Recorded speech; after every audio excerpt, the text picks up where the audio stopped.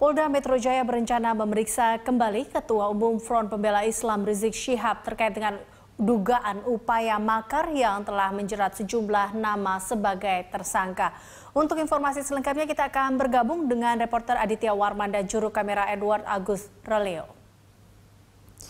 Adit, bagaimana proses pemeriksaan Rizik Syihab terkait dengan dugaan makar ini?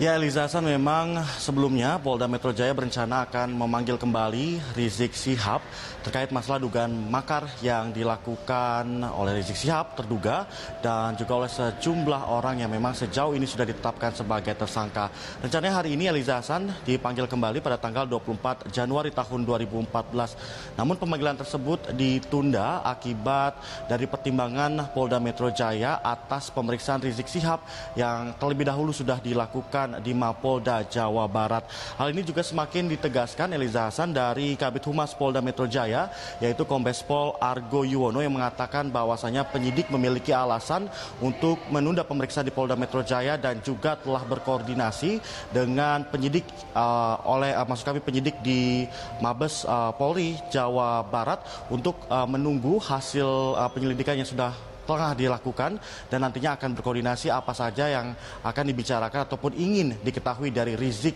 Sihab yang rencananya akan dilakukan pada tanggal 1 mendatang Eliza Hasan. Ya, Adit, terkait dengan uh, bagaimana kemudian proses pemeriksaan dengan saksi lain seperti uh, Munarman dan juga Bakhtiar Nasir yang juga direncanakan uh, akan hadir hari ini. Ya Eliza Zan, ini sama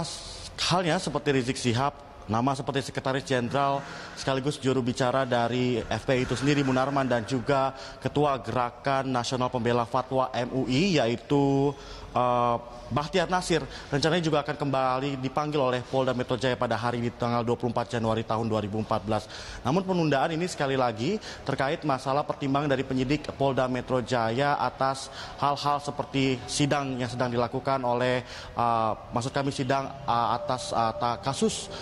dugaan penistaan agama yang dilakukan oleh Basuki Cahayapurnama dan juga lokasi dari Polda Metro Jaya di tengah dan juga menimbulkan kemacetan di ibu kota DKI Jakarta. Ini merupakan sejumlah alasan dari penundaan pemanggilan nama-nama yang terduga ataupun diduga melakukan perbuatan makar seperti itu. Nah, yang dapat kami informasikan kembali Eliza Hasan nama-nama seperti Rizik Sihab, Munawir dan juga uh, seperti Bahtiar Nasir uh, nantinya mereka akan dimintai kesaksian ataupun informasinya atas nama tersangka uh, Sri Bintang Pamungkas atas dugaan pelecehan lambang negara dan juga perbuatan makar.